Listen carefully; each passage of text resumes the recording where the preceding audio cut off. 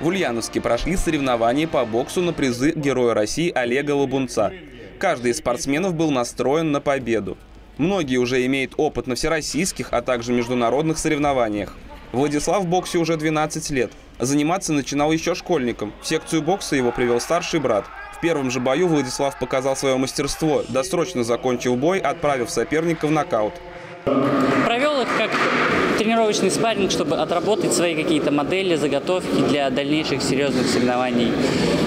Доволен, боем доволен, отработал то, что получилось, над чем тренировался. Соревнования проходили в двух возрастных категориях – юниоры с 17 до 18 лет и юноши с 19 до 22 лет.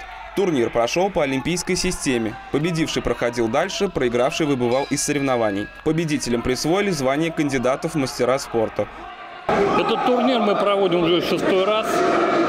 Это межрегиональный турнир. Приглашены боксеры с Поволжья, ну и со всей э, Российской Федерации. На этот турнир приехал в этом году шесть команд. Это Самара, Саранск, э, Чувашия, Мордовия, Пенза, Пенза и представители 25 клубов Ульяновска и Димитровграда. Общее количество участников э, свыше 100 человек. На соревнованиях также оформили выставку выдающихся спортсменов, представляющих Ульяновскую область на всероссийских и международных соревнованиях. Это и борцы, и боксеры, грибцы.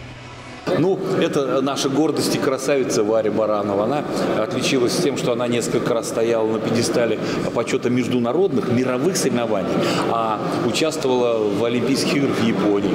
Она грибчих, она бессменный э, член сборной команды России. Этот вот удивительный парень, узбек, смотрите, какая колоритная внешность, он выступает за Ульяновскую область в составе боксерской. Данная выставка направлена на популяризацию спорта. Ее планируется показать во всех районах Ульяновской области. Она будет проводиться на всех соревнованиях в регионе. Ребята с интересом подходят и рассматривают достижения спортсменов.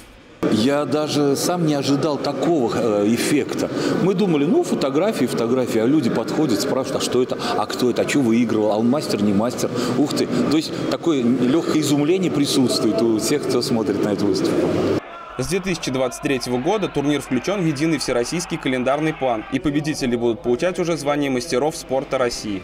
Кирилл Савосин, Герман Баранов, У Правда ТВ.